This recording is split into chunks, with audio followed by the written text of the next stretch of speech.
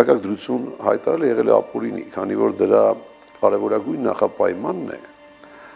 արկա սահմանադրական քարքին անմիջական վտանգը, այսինքն պետք է լիներ անմիջական սպառնացող վտանգ,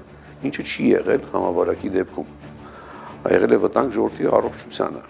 բայց չի եղել բուն սահմանադրական կարգին, ուստի այն ի սկզբանե ապօրինի է եղել։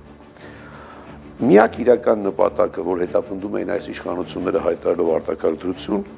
դա համանդրական փոփոխությունների հանրակրվեի չեղարկումն է։ Հանրակրվե չի կարող անցկացվել արտակարգ կամ ռազմական դրության պայմաններում։ Եվ այդ միակ նպատակին իրենք հեշտությամբ հասան։ Մնացած ամենը դա թատրոն էր։ Թատրոն էր, որը կոչված էր տպավորություն ստեղծելու, իմիտացիա ստեղծելու ինչ-որ գործունեության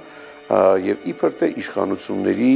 մտահոգության մասին ժողովրդի առողջության վերաբերյալ։ Այն, որ արտակարգ դրությունը հայտարարվել է քաղաքական նպատակներով, հիմնավորվում է նաև հետևյալով.